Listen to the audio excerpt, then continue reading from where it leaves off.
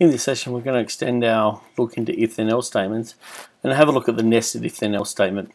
If you want to see how an if then else statement works, have a look at the previous tutorial and we look at how to create a simple password checker. Now let's look at a nested if then else. We're going to change some of our variables today. So what we're going to be using is we're going to start with an i age. Now i means integer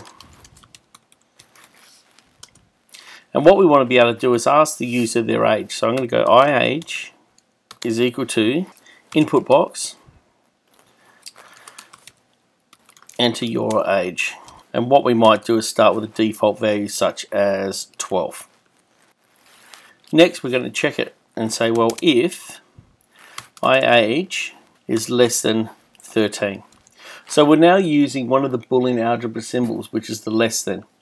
So I, I age is less than 13 and you got to remember the crocodile eats the bigger number. So I age is less than 13 because the crocodile's facing 13 so if that is true then message box you're a child. But then we want to put an else part in and say well if they're not 13 we're going to say you're you're 13 or older. So if it is true, so they're less than 13, if they're equal to 13, that means they're going to be in this bracket. It must be less than 13 to, for this to be true, so up to 12.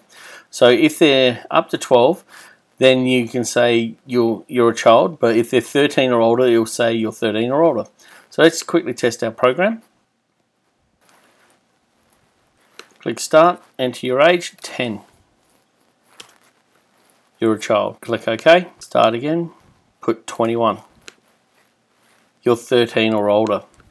And once again, if we put in 13, because it's not less than 13, it's equal to, you're 13 or over, older.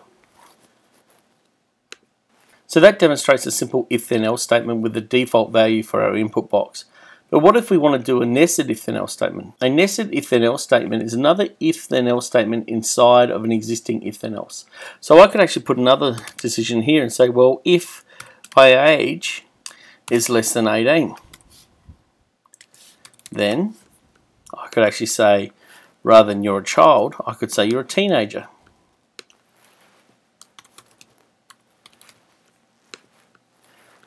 Now, if it's less than 13, it should tell me they're a child. If they're less than 18, so let's go less than and equal to, well, 18 they'll be an adult, so let's go less than 18. So anywhere from 13 to 17, we should get, oh, you're a teenager. 12, you're a child. 13, you're a teenager. 21, it says nothing. Now the reason why it says nothing is because if this is not true, there's no else part, so it stops, and because the, the first if statement's finished, it then continues with our program and finishes. So if I want an else part in here, so this is a nested if then else, so it's an if then else inside an if then else. So you can see it here inside of this one here. We could actually go else we can then message box, rather than child, we can put adult. So if they're 18 or anything above, they'll be an adult. So 12, child. 14, you're a teenager. 21, you're, you should have an adult. Now the only problem with our program is you could also say that you are 1,000 years old, or in this case 10,000 years old, and you're an adult, and I could actually say I'm minus 100, and I'm a child. So we can actually stop some of this by saying if I age is greater than 0 and I age is less than 120, then.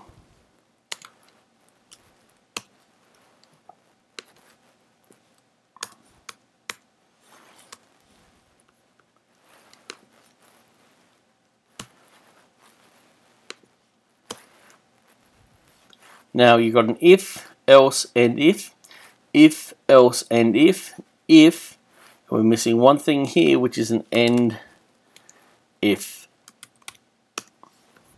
So every time we have a start an open if, we need an end if.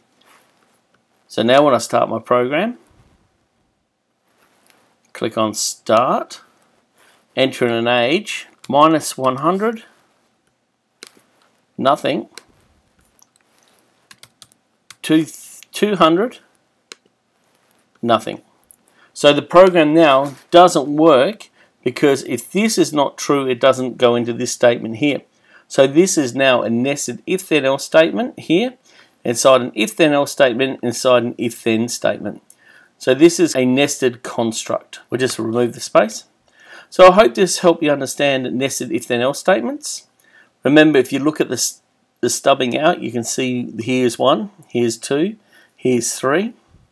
And we can do some very complex decision making using nested if then else statements. And this will sometimes help you make your code more efficient than a whole lot of if, if, if statements.